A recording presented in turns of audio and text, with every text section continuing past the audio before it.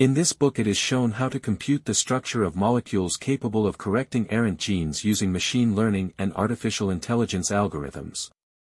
As an example, a molecule capable of correcting the delta F508 gene mutation of cystic fibrosis is found in the book.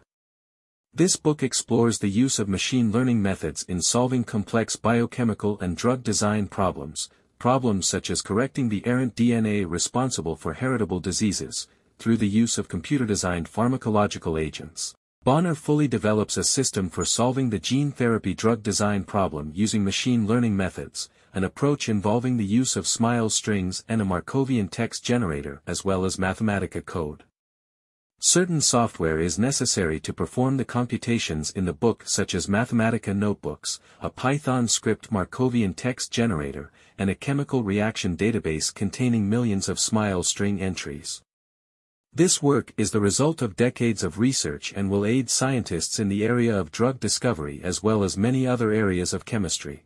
For access to the full article visit the link in the video description.